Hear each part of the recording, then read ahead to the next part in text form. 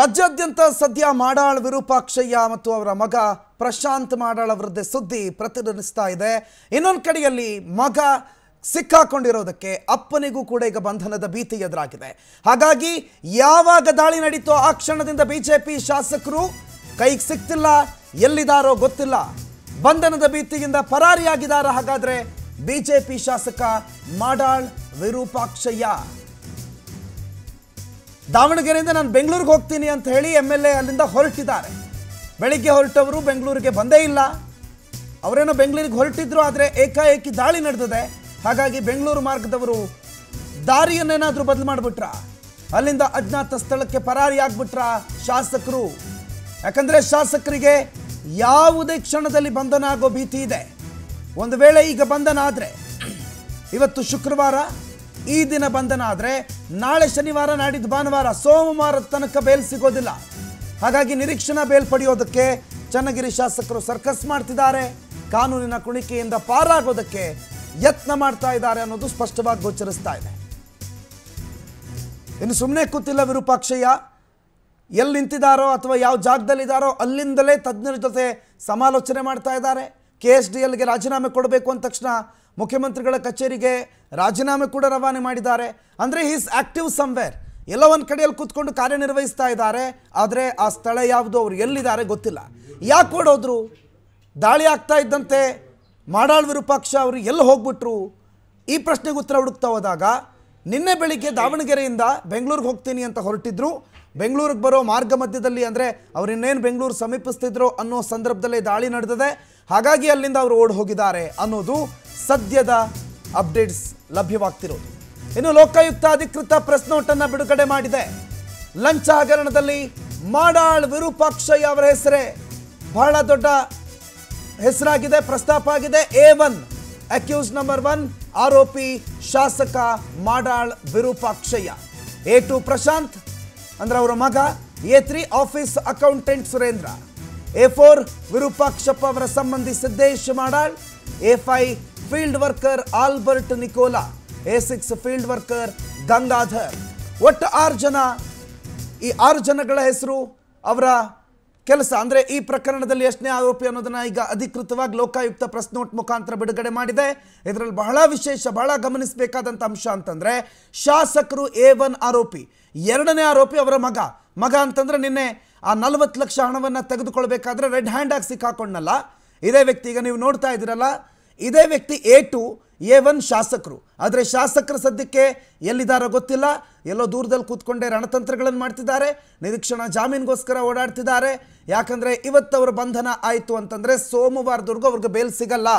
So ಆ ಮೂರು ದಿನಗಳ ಅವಧಿಯಲ್ಲಿ ಅವರ ವಿಚಾರಣೆ ಖಂಡಿತವಾಗಿ ಮುಗಿಸ್ಬಿಡ್ತಾರೆ ಅಥವಾ ಅದನ್ನು ಕಂಟಿನ್ಯೂ ಮಾಡಿಬಿಡ್ತಾರೆ ಅನ್ನೋ ಭಯದಿಂದ ಶಾಸಕರು ಸದ್ಯ ನಾಪತ್ತೆಯಾಗಿದ್ದಾರೆ ಅನ್ನೋದು ಸದ್ಯದ ಅಪ್ಡೇಟ್ಸ್ಗಳು ಇನ್ನು ಪ್ರಶಾಂತ್ ಮಾಡಾಳ್ ಅವರ ಮನೆ ಕಚೇರಿ ಮೇಲೂ ಕೂಡ ಲೋಕಾಯುಕ್ತ ದಾಳಿಯಾಗಿದೆ.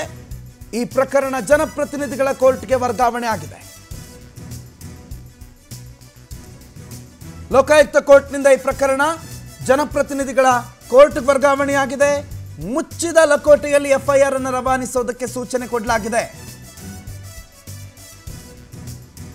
ಯೂಶ್ವಲಿ ಜನಪ್ರತಿನಿಧಿಗಳು ಅಂದರೆ ಶಾಸಕರು ಎಂ ಎಲ್ ಎ, ಎಂ ಸಚಿವರು, ಇವರೆಲ್ಲ ಜನಪ್ರತಿನಿಧಿಗಳ ನ್ಯಾಯಾಲಯದಲ್ಲಿ ವಿಚಾರಣೆಯನ್ನು ಎದುರಿಸಬೇಕಾಗತ್ತೆ. ಈ ಸದ್ಯ ಈ ಪ್ರಕರಣ ಪ್ರಶಾಂತ್ ಮಾಡಾಳ್ ಅವರು ರೆಡ್ ಹ್ಯಾಂಡ್ ಸಿಕ್ಕಾಕೊಂಡಿದ್ದರು ಈ ಪ್ರಕರಣ ಮುಂದಿನ ಹಂತಗಳನ್ನು ತೆಗೆದುಕೊಂಡು ಹೋದಾಗ ಇದು ತಂದೆಯವರ ಪರವಾಗಿ ಮಗ ಸ್ವೀಕರಿಸಿದ್ದ ಹಣ ಅನ್ನೋದು ಪತ್ತೆಯಾಗ್ತಾ ಹೋಗುತ್ತೆ. ವಿರೂಪಾಕ್ಷಯ್ಯ ಅವರೇ ಈ ಹಣ ಸಂದಾಯ ಮಾಡುವಂತೆ ಡಿಮ್ಯಾಂಡ್ ಇಟ್ಟಿದ್ರು ಅನ್ನೋದು ಗೊತ್ತಾಗುತ್ತೆ. ಹಾಗಾಗಿ ಆಗ ಅವರಿದ್ದಾರೆ. ಈ ಪ್ರಕರಣ ಜನಪ್ರತಿನಿಧಿಗಳ ಕೋರ್ಟ್ಗೆ ಈಗಾಗಲೇ ವರ್ಗಾವಣೆ ಆಗಿದೆ. ಲೋಕಾಯುಕ್ತ ಕೋರ್ಟ್ನಿಂದ ಒಟ್ಟಾರೆಯಾಗಿ ಮೊನ್ನೆ ಕರ್ನಾಟಕ ಹೈಕೋರ್ಟ್ ಲೋಕಾಯುಕ್ತಕ್ಕೆ ಬಲ ನೀಡಿರೋದು ಇವತ್ತಿನ ಈ ದಾಳಿಗೆ ಸಾಧ್ಯ ಆಗಿದೆ. ಯಾಕಂದರೆ ಲೋಕಾಯುಕ್ತ ಇತಿಹಾಸದಲ್ಲಿ ಅತಿ ದೊಡ್ಡ ದಾಳಿ ಇದು. ಅತಿ ಬೃಹತ್ ಮೊತ್ತದ ಹಣವನ್ನು, ದಾಖಲೆಯ ಮೊತ್ತದ ಹಣವನ್ನು ಸಂಗ್ರಹಿಸಿರುವಂಥ ದಾಳಿ ಇದು. ಅದು ಆಡಳಿತಾರೂಢ ಬಿಜೆಪಿ ಪಕ್ಷದ ಶಾಸಕ ಮಾಡಾಳ್ ವಿರೂಪಾಕ್ಷಪ್ಪ. ಸೊ ಏನಾಗುತ್ತೆ? ಮಾಡಾಳ್ ವಿರೂಪಾಕ್ಷಪ್ಪ, ಅವರ ಕಥೆ ಏನು? ಮುಂದೇನು? ಈ ಬಾರಿ ಇನ್ನೇನು ಚುನಾವಣೆಗೆ ಸ್ಪರ್ಧೆ ಮಾಡಬೇಕು ಅಂತ ಏನಾದರೂ ಸಿದ್ಧತೆ ನಡೆಸಿದ್ರ? ನಡೆಸಿದ್ದು ಹೌದಂತಾದರೆ ಅವರಿಗೆ ಟಿಕೆಟ್ ಬಹುತೇಕ ಮಿಸ್ ಅಂತಲೇ ಹೇಳಬಹುದು. ಭ್ರಷ್ಟಾಚಾರದ ಆರೋಪದಲ್ಲಿ ವಿರೂಪಾಕ್ಷಪ್ಪ ಸಿಕ್ಕಾಕೊಂಡಿದ್ದಾರೆ. ಆದರೆ ಮುಂದಿನ ಚುನಾವಣೆಗೆ ಅವರು ಮಗನ ನಿಲ್ಲಿಸೋದಕ್ಕೆ ಈಗಾಗಲೇ ಸಿದ್ಧತೆಗಳನ್ನು ನಡೆಸ್ತಾ ಇದ್ರು. ಅವರ ಮತ್ತೊಬ್ಬ ಪುತ್ರ ಮಲ್ಲಿಕಾರ್ಜುನ್ಗೆ ಟಿಕೆಟ್ ಕೊಡಿಸೋದಕ್ಕೆ ಈಗಾಗಲೇ ಪ್ಲಾನ್ ಮಾಡ್ಕೊಂಡಿದ್ರು, ಆದರೆ ವಿರೂಪಾಕ್ಷಪ್ಪ ಅವರಿಗೆ ಈ ಪ್ರಕರಣ ಲೋಕಾಯುಕ್ತ ಬಲೆಗೆ ಬಿದ್ದಿರೋದು ಅವರ ಇಡೀ ಫ್ಯಾಮಿಲಿಗೆ ಮುಳುವಾಗಿ ಪರಿಣಮಿಸಿದೆ. So high command automatically full ಗರಂ ಆಗಿರುತ್ತೆ. ಬಹುತೇಕ ಮಾಡಾಳ್ ವಿರೂಪಾಕ್ಷಪ್ಪ ಅವರ ರಾಜಕೀಯ ಜೀವನ ಈ ಪ್ರಕರಣದೊಂದಿಗೆ ಅಂತ್ಯ ಆಗುತ್ತಾ ಅನ್ನೋ ಪ್ರಶ್ನೆ ಕೂಡ ಈಗ ಉದ್ಭವ ಆಗಿದೆ. ಫೈನ್ ಏನೇನಾಗಬಹುದು? ರಾಜಕೀಯ ಅಥವಾ ಅವರ ರಾಜಕೀಯ ಜೀವನ ಎಲ್ಲದರ ವಿಚಾರವಾಗಿ ನಮ್ಮ ಪ್ರತಿನಿಧಿ ಮಧುರ ಮಧು ನಾಗರಾಜ್ ಕುಂದವಾಡ ಡೀಟೇಲ್ ಆಗಿ ಮಾತನಾಡ್ತಾ ಹೋಗ್ತಾರೆ.